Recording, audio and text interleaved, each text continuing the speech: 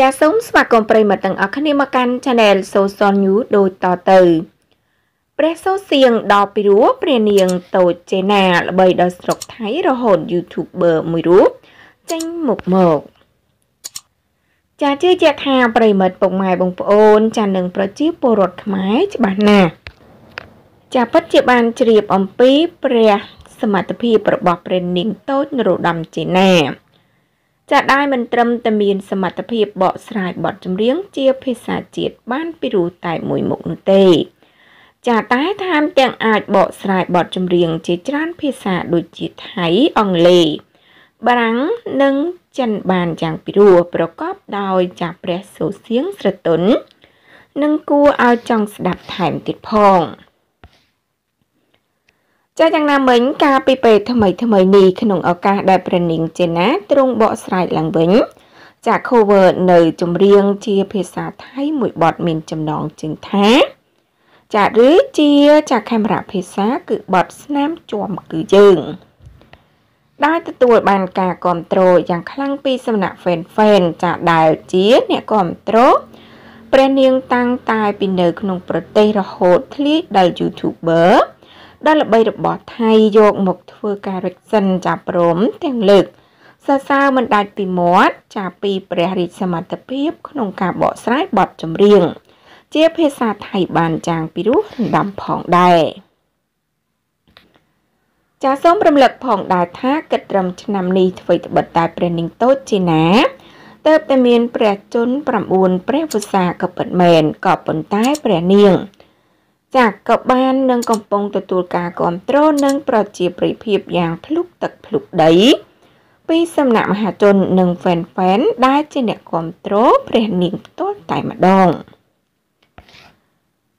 ចាប្រិមិត្តពុកម៉ែបងប្អូនជាទីមេត្រីចាសម្រាប់អត្ថបទនេះដែរក៏សូមបញ្ចប់តែត្រឹមប៉ុណ្្នឹងចាឥឡូវយើងងាកមកតាមដាននៅព័ត៌មានបន្ទាប់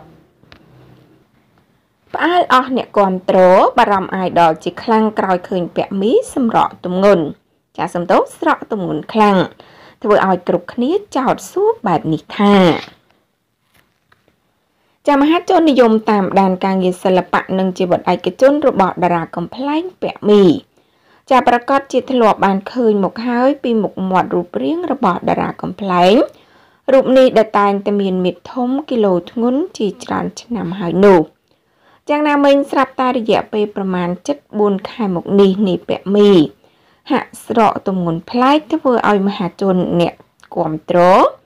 ឆ្ងល់ខ្លាំងរហូតម្នាក់ម្នាក់លើកឡើងជាសំណួរសាកសួរទៅកាន់តារារូបនេះជាច្រើន